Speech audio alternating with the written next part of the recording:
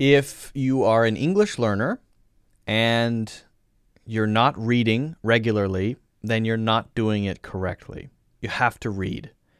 Everybody who's learning English needs to read. I would say everybody needs to read, but especially if you want to learn English, you have to read. Now you might be then thinking, why, do I need to read? I don't need, I don't want to talk like a book. Well, but books provide a background and a foundation of usage and structure and context and vocabulary that really helps. It doesn't help directly always, but it does help. People who read are better communicators. People who read are generally smarter, right? They know more things. They have the wisdom of those who have written the books or the wisdom of those who have maybe uh, who are characters in the books or whatever. Reading makes you smarter. Reading makes you uh, usually a better communicator. And it can make you much better at the language. Now, one simple advantage of reading is that you have a way to discover words and phrases in context. If you just take a word and say, I'm going to learn this word, you are not learning in context. You're just learning the word. Then I would challenge you to use that word in a sentence. Go ahead.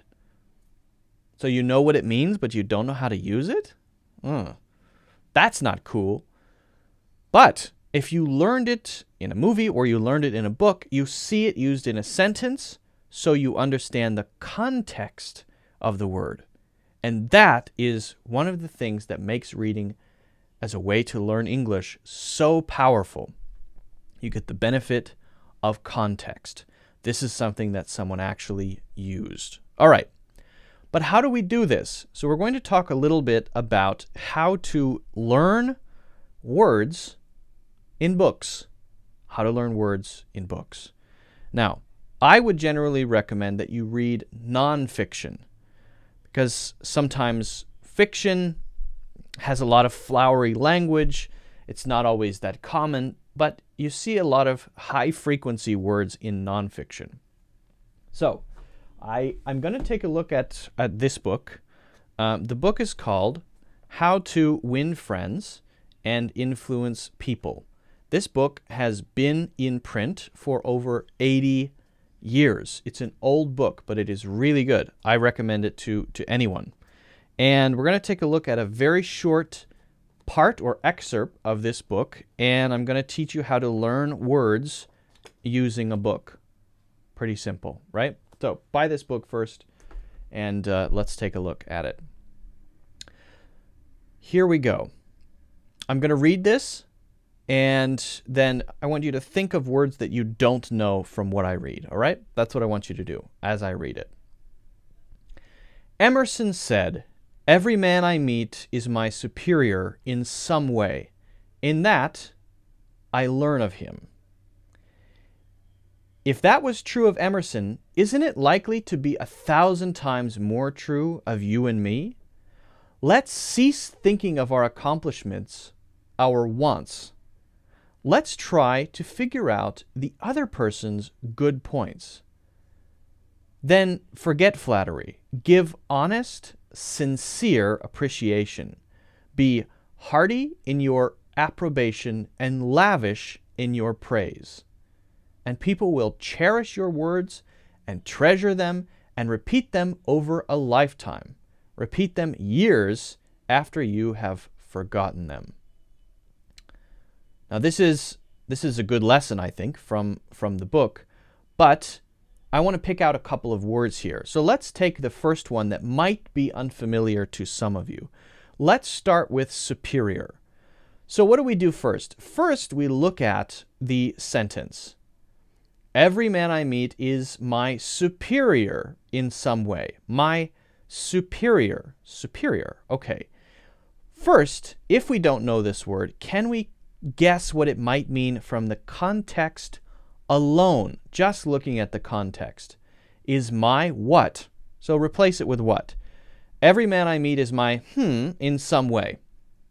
Well, based on the grammar, if we have my followed by something, it's going to be probably a noun, right? It has to be. It has to be a noun. So we're talking about a noun here. Well, what kind of noun? Well, it's it's a way that a person can be. We know that, right? It's my something in some way. And we're talking about learning things from people. We're talking about ways that maybe in the later context someone knows things that we don't know or is good in some way. So we can get a general sense, even if we're not quite sure what exactly superior means. Now, maybe you know it, maybe you don't, but we're just going to look at it as an example, and then we'll look at uh, one other one other word as well. All right, so what do we do next? The next thing we do is we look it up in the dictionary. Now, I prefer the freedictionary.com. That's a really good dictionary. I would recommend that one. Uh, but of course, there are a lot of there are a lot of other choices. You can you can use uh, dictionary.com. You can use vocabulary.com. There are so many there are so many dictionaries. I like thefreedictionary.com because it has examples because it has example sentences and really, really natural or example sentences. So let's take a look. We're going to go over to thefreedictionary.com and we're going to look up these words. Okay. We look up the word superior in the free dictionary and we find what? All right, we have adjective higher than another in rank, station, or authority, of a higher nature, I'm going to zoom in a little bit, of a higher nature, okay, of great value or excellence. All right, let's look at the nouns. One that surpasses another in rank. Oh, so we have a noun form, okay. Uh, and then we have examples for these. We have, for example, an army defeated by superior numbers. Okay, so superior here is used as an adjective, and numbers would be maybe maybe the troops, right? The numbers of enemy troops. Wow. All right. So we can get a sense for it, but here we see it used as a noun. Here we see it used as a noun, one that surpasses another in rank or quality. Okay? So that can help us. Let's see if we can get any others.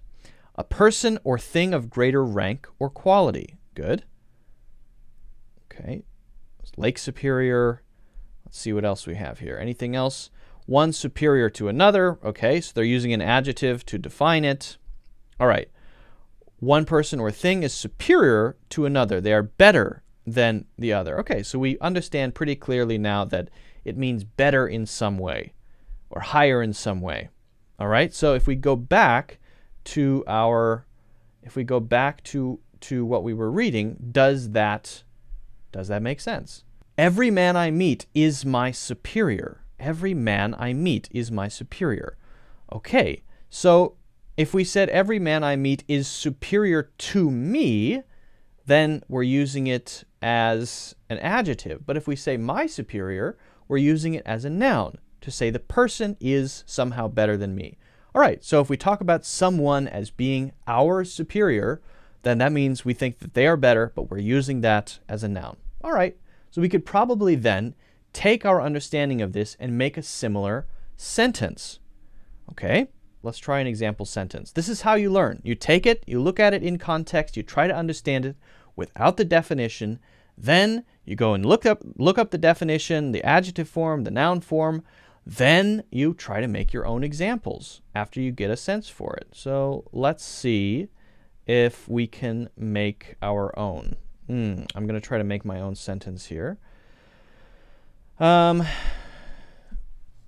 I'm going to do it as an adjective. You are clearly superior to me in in tennis. Does that work? Yeah, it's not the best sentence ever, but it makes sense. You are clearly superior to me in tennis. All right, it's a little too formal, but it works. Now let's try to use it as a noun if we can. Can we use it? Can we use it as a noun? Let's try. Stop treating me as a superior. We are on the same level. Stop treating me as a superior. So, a is indicating that this is a noun. So we're using superior as a noun. Stop treating me as a superior. We're on the same level. All right, that works. So I've made a couple of basic sentences, nothing that special, nothing that interesting, but it has helped me to get a better feeling for how to use uh, for how to use this. Okay, think about it this way: you can either study words endlessly in a dictionary or make lists and not know how to use them and you learn 50 but you don't know how to use them. Or you can spend a little more time and a little more effort learning 10 words that you deeply understand, that you know how to use. So you put more time into each one. Yes, that's a time investment, that's an energy investment. But now you have a better, a deeply better understanding of that word that you're learning in context. And you have the advantage of seeing it in the sentence right? So that's a great advantage of reading. There are many other benefits to reading. Read, read, read. Very important. Very important to start reading. And use what you're reading as a way to discover new words to learn. All right? If you have any questions about this, let me know in the comments. If you haven't already, make sure you subscribe, hit the like button, that would be great. And don't forget to check out my full courses, which are on sale in the links in the description.